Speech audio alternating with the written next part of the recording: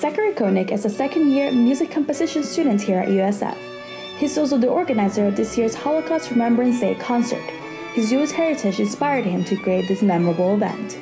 I wanted to somehow give back to the community, especially the Jewish community that I came from. After going to Israel, the idea came to me of doing a concert because that's what I do. I'm a composer. So I wanted to give back through music. Konick dedicates his composition Kaddish to his grandmother Rosette. Kaddish comes from the Mourner's Kaddish, a Jewish prayer that deals with death. His grandmother's voice can be heard all throughout his composition.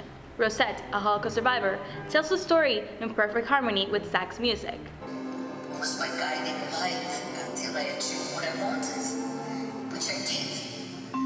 I am very blessed. I'm very blessed. Francis Schwartz is the featured composer for the concert.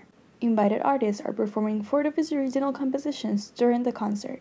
He considers his music a way to combat injustice around the world. It's a very complex thing. We are masters of hate.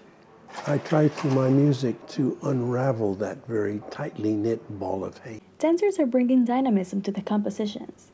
Carolina Garcia Serpa and Aitara Gottbold are two of the dancers invited to grace the stage. Despite not having direct Jewish connections, they consider it important to bring awareness to events like these. Any way that I can use my instrument, my body, um, my art form, dance, to add expression or bring awareness to another artist's work and what they're doing, that's my connection. In Tampa, Maria Laura Lugo.